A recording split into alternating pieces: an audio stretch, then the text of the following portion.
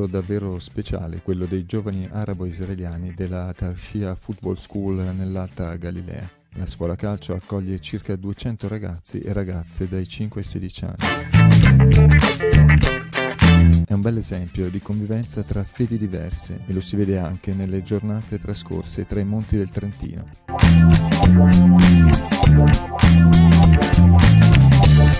Arrivati in 26 dal nord di Israele, a Deggia nel Banale dal 27 giugno al 3 luglio, con sei accompagnatori e ospiti della parrocchia di San Carlo Borromeo di Trento, come squadre di calcio ben più blasonate che hanno scelto il Trentino per la loro preparazione precampionato.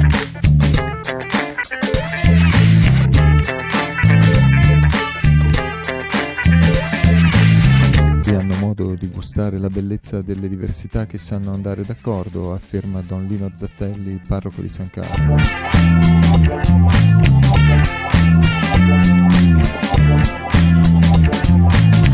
Adeggia dove si incontrano antichi percorsi riscoperti e valorizzati come il sentiero di San Vili e il sentiero Frassati, si incrociano oggi i passi di chi cerca ogni giorno di seminare pace e non odio in una terra chiamata santa da più religioni che però non sembra capace di uscire dalla spirale dell'odio e della violenza.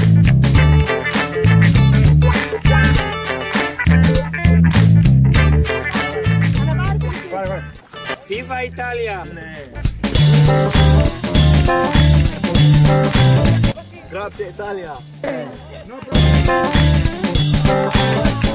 Just do it. Grazie Italia.